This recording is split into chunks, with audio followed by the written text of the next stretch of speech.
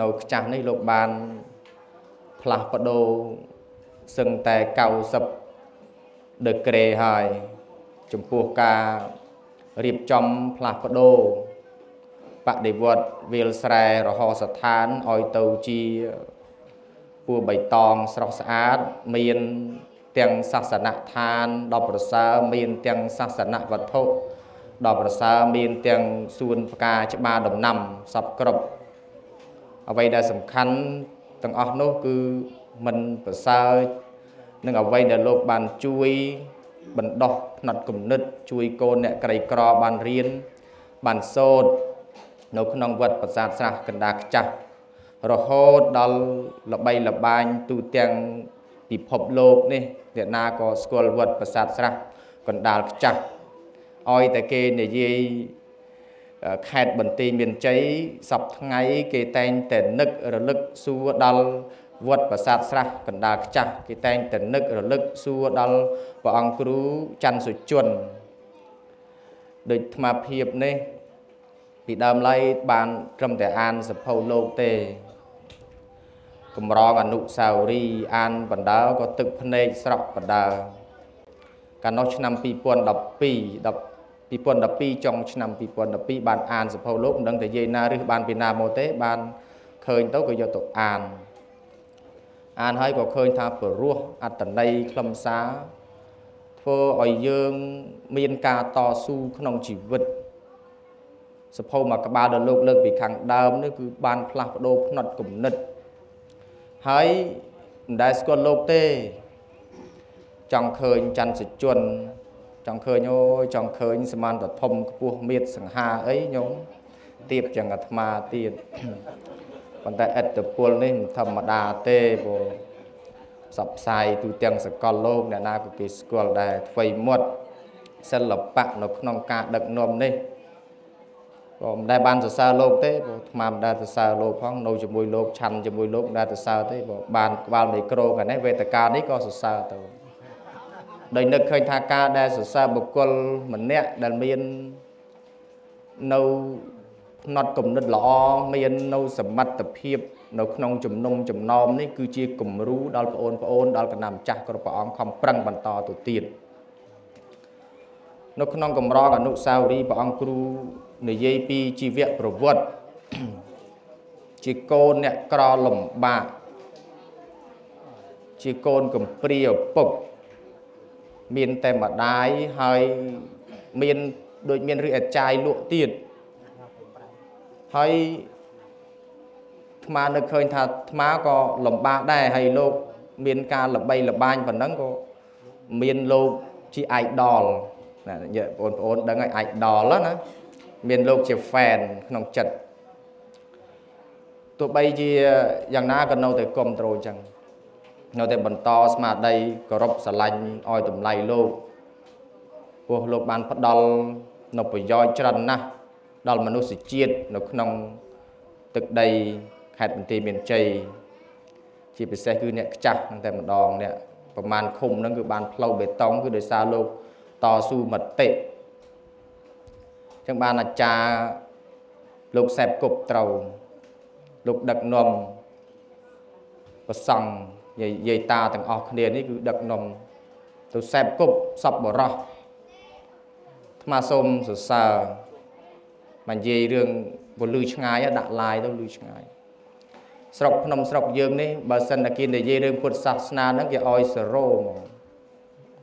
អត់មានធនធានទេ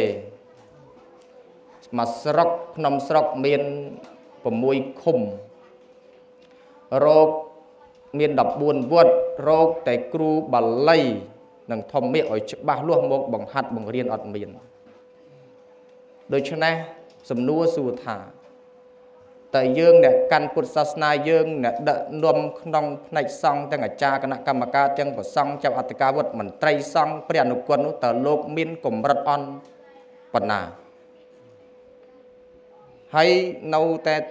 លើកកម្ពស់ខ្លួនឯងថាខ្លួនឯងនេះវាប្រសើរវាអស្ចារ្យវាថ្លៃថ្នូរទាំងដែលខ្លួនឯងងងឹតងងល់មិនដឹកនាំគេឲ្យមានចំណេះមិនដឹកនាំគេឲ្យចេះ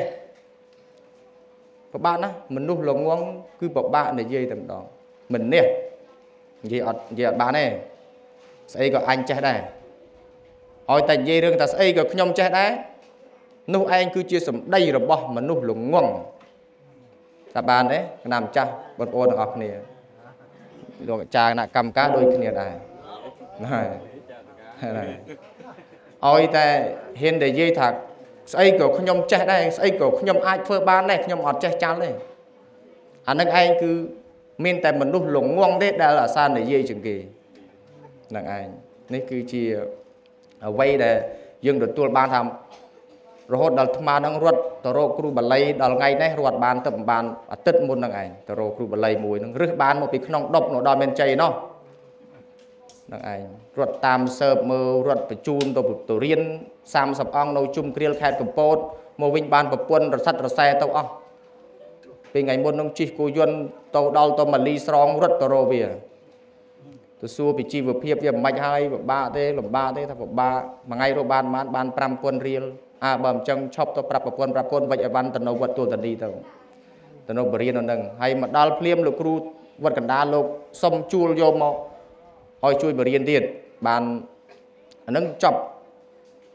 ប្រែមង្គលចប់ថ្នាក់ទី11មកវារៀនរៀនបល័យរៀនរៀនរៀនរៀនទៅវារៀងបកែគ្រាន់បើទៅកូនអ្នកស្រុកឃើញល្អឃើញឆ្លាតទៅក៏ស្រឡាញ់ទៅ សឹកទៅយកគេទៅក៏មិនស្រួលវាទៅជារឿងរៀនបល័យយើងទៅដល់ពេលអាស្រុកយើងវាមិនអោយតម្លៃភាសាបល័យ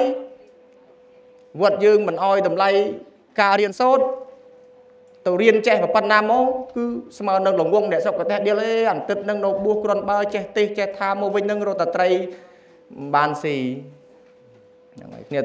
អាត្មាទៅថ្ងៃមុនហ្នឹងសំណោះស្រក់ទឹកភ្នែកកាន់មងមកក្បាលមកគូតឡើងស្វិត ដល់តៃតៃតៃមកថ្វាយអង្គមហើយសំណោះមែនតើញោមហើយយកមកចិញ្ចឹមហើយទៅបីយ៉ាងណាក៏ជួយដែរបានព្រះអង្គគ្រូវត្តកណ្ដាលលោកជួយមកផ្លូវទៀតទៅបានមួយខែបានប្រគេនបានជូនគាត់300ដុល្លារដែរពីវត្តដាក់ព្រឹកល្ងាចនេះឯងដោយសារតែយើងមិនចាប់ផ្ដើមឲ្យតម្លៃការសិក្សាអប់រំហើយវាមិនខុសអីវាថាចង់រកមលុបកណ្ដាលវាក្តៅទេហ្នឹងឯងរកមលុបកណ្ដាលវាក្តៅមិនបានតិចអញ្ចឹងយើងអត់ស្រឡាញ់អត់ឲ្យតម្លៃទៅក៏យើងរំគ្នាថាខ្វះណាខ្វះអ្នកចេះដឹងដល់ពេលលោកមិនបានរៀនបានសូត្រមិនល្អក៏រំគ្នាបន្ទោសលោកនឹងមកតែពីលោកនោះផងមកតែពីយាយតានោះផងជាពិសេសគឺអ្នកដឹកនាំសង្ឃនឹងតែម្ដងអត់និយាយច្រើនទេដល់ណានិយាយរឿងចាប់អធិការវត្តប៉ុណ្ណឹងចុះ បើសិនតែរឹសចាប់អធិការវត្តមិនមើលណាលោកចាគណៈកម្មការក្តីពុទ្ធបរិស័ទក្តីទាំងអស់គ្នា បើមិនមើលទេតបានចាប់អធិការមុំមួយហ្នឹងប៉ះចាប់អធិការខ្លះចាប់អធិការខ្មោចញោមអត់ធ្វើអីទេ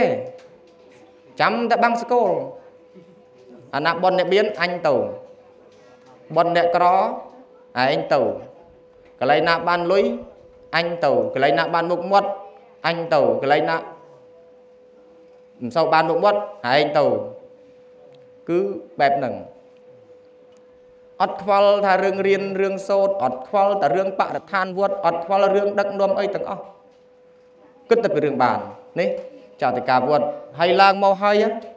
ចាប់អធិការវត្តអសមត្ថភាពហ្នឹងគឺអត់ងាយចុះទេ